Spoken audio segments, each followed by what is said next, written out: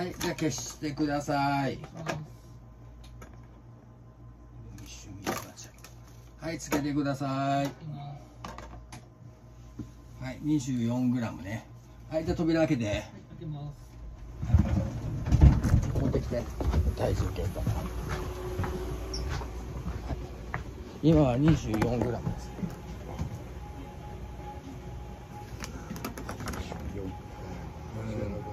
ちょっと軽いですねうんこれはもういいです。顔だけ置いてくればいいです。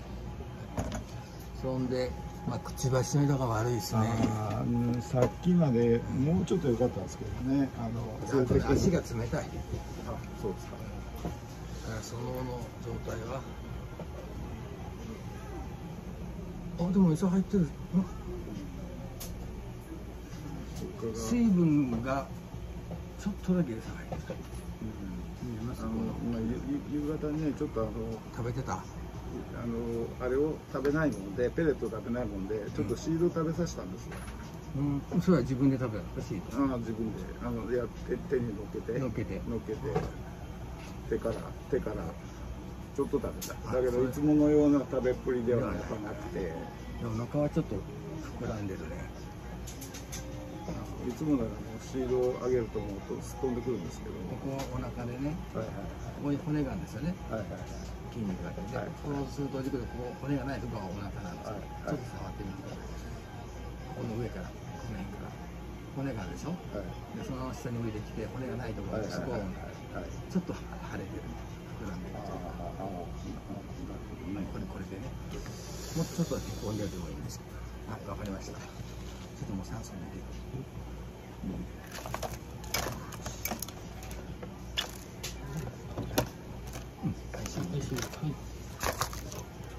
ったかいこのまま少し入ってるわけだ F じゃないねあれは L なん。ですよ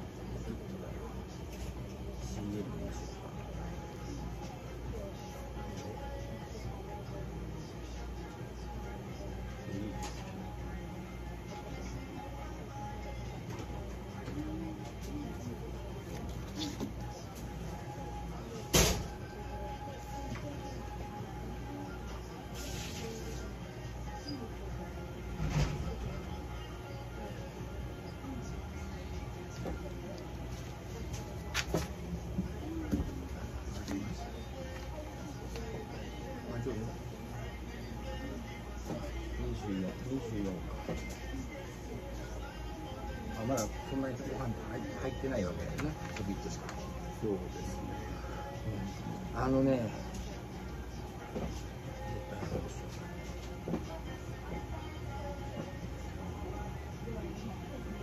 そうですね。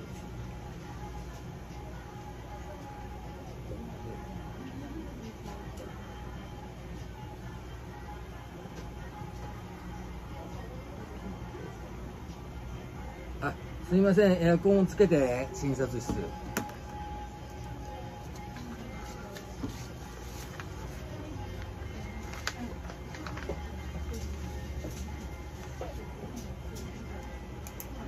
っと体温が下がってる。あ、そう足がもうちょっとあったかくなきゃダメなんだよね。まあ、今ちょっとおお預かり時間あったかい辺に入れてたんですけどね。低体温症、それから貧血してるくちばしとかね。とちょっとくちばしが若干チアノーゼっぽいんですよね。色が悪い。根元がね。そうするとこれは貧血ってことは赤血球が少なくなってるわけだから赤血球って全身へねヘモグロビンがあって酸素を全身に運ぶわけだからその全身への酸素の運ぶ能力をしてるから低体全体が低酸素症なんですそうするといろんな体の機能が落ちてくる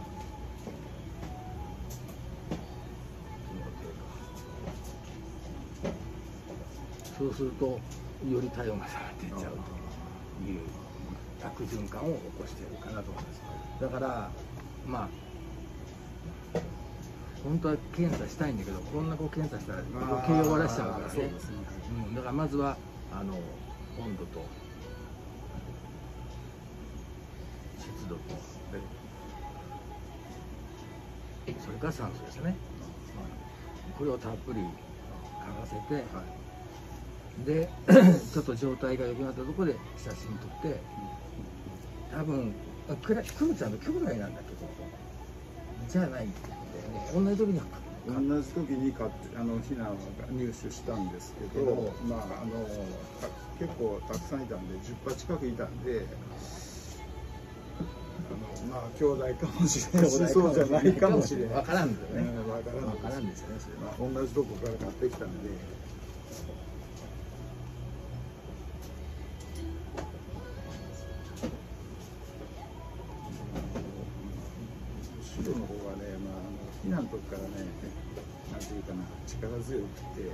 餌もよう食べるし、まあ、俺はてっきりこれ男の子だなと思っとったんだけど、え大きくなったらサイズらんもんで、えでもさ女の子だったら。いやでもサイズらない。でも卵は産んでないんですよね。産んで産んでない。産んでないんですよね、ね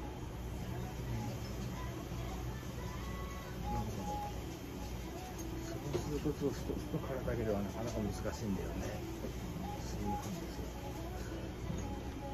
まあ治療しようと思ったらあん中にいてもらって、ええ。でちょっと少し状態体温が上がってきたところでもうさっとレントゲン取って、はい。体の中のことを見てでそれでまあ薬を投与する。要は心臓のサイズとか肝臓のサイズとかねどうなどうなのかなというところですわ、はい。もし兄弟のがだったらもしかしたら大きいかもしれないよね、うん。そこは何とも言えないですよ。だからまあ実際問題こう体膨らますのが昨日だから、うんその前からちょっとずつちょっとしは悪かったんだと思いますよ、うですね。でも鳥はちょっとぐらい調子悪くてもねうん捕食動物だから元気に見せるものだからさ、うん見た目は元気にしてそねしてる感じはあったんだろうなとは思うんですけどね、まあ、もし可能だったらちょっとこのままお預かりして治療した方がいいかなと思いますけど、それも書いちゃダメだねあいいいいですよいいですよ別に書いてもらっても余余白に書く分には、ええ全然構わないですあこれいやいいですいいですこれをちょっと預かろうかなと、ええそうですね。い。いですあいいです。いいですいいです。まあこれ一生後にちょっと動画に映しておきますからね。あの家にいない時はあの預かり取ってもらってじゃあ。温度32度になってるんですけど、うん。家でも32度ですか30から3調子が悪い子は30から33度ぐらい。にした方がいいですね。今普段。はうちにいるプロは？クロちゃんは調子良ければ今何度になって今るの、28とか7とか778うん、で温度差がつかないつかなければ278でいいと思いますよ、だからクロちゃんの調子で確認あしてくださいクロちゃんはあの元気です。元気にしてます。でそう。だから前にちょっとお話ししたけど男のあの赤いの右のあたりがなかなかちょっと目立ってきたかなっていう感じなんですけどまあ元気は元気なんで、そうですね。えそう。だから温度はね体調良ければね20人間が快適な温度ぐらいで大丈夫ですよ。ただこういう状態ちょっと元気ない子の場合は30から高めに。30そうした方がいい。うんしないとね。そうだからこの体重だけが目安なんだけどこの子はこれぐらいの体重じゃないですか大体朝。夜がこんなぐらい。今月入ってもでも若干減ってない？って思うと。でうん夜がまあでも24.3ならいいのか。うんまあそう範囲内という感じ。その前のこのこの前はここでしょ？まあそっか。確かにねこの8月はさめちゃくちゃ暑いからさエアコンなしではさ鳥も具合が悪くなっちゃうし人間も具合悪くなっちゃうしエアコンは絶対いるんですよ。であの黒は日中あの口開けてたんで、だからあ暑いんだなこの子と思って、うん。で一応まあ室温28ぐらいでしたけど、え28でも暑いのかなこの子と思って。あ実際の温度がね。あの室湿度設定温度。あカゴのついてる温度がね。そうそうそうあーなるほどね。うん。28よりもちょまあだからね温度だけじゃないんですよ。湿度も関係してるんですよ。うん。28度でもさらっとしてればさそんな暑くないんだけど、うん。28でも湿度がはいはいはい。70、80あったらはいこれは暑いですよ。まあ昨日今今ここね 最近もずっとあのうん。湿気すごい湿気なんで。そう。だからそうなんですよね。そこが難しいところなんだけどでもあのクロちゃんの体調が良ければその32日だけども28とか27とかいいと思います温度差がつかみにしていてもらえれば、はいそうだからあとねだからそうねあのまあ測れる日だけでいいからたまにちょっと温度も入れといてもらうといいかもしれませんね。カゴの温度カゴの温度。はい。だから朝一と昼過ぎと夜の温度。温度ともしこういう温度だけじゃなくて湿度計もくっついてれば温度と湿度を記録しておくとよりよりいいですね。で申し訳ないけどまあちょっとシロちゃんはちょっと中のことは分かんないけどクロちゃんは体の中のことは先天的なものがありそうなんで普通の子よりはストレスに弱い。ですストレスっていうのは温度差が一番ストレス。から鳥の場合はね、まあ、他にもいろんなことがストレスなものになると思うんですからね。はい。分かりました。まあじゃあ引き続きここはねあ観察してもらってそれにプラス温度温度湿度ね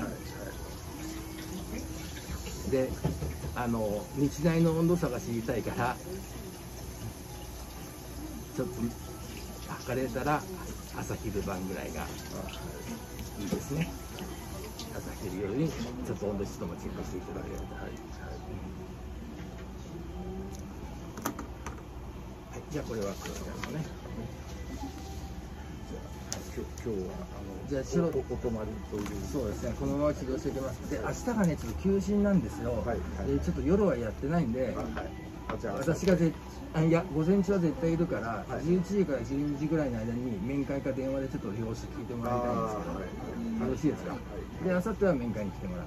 あはいはいはい。じゃあちょっとお預かりして治療していきますね、じゃあプロちゃんもよく様子見といてください。はい。じゃあお願いします。はい。お預かりします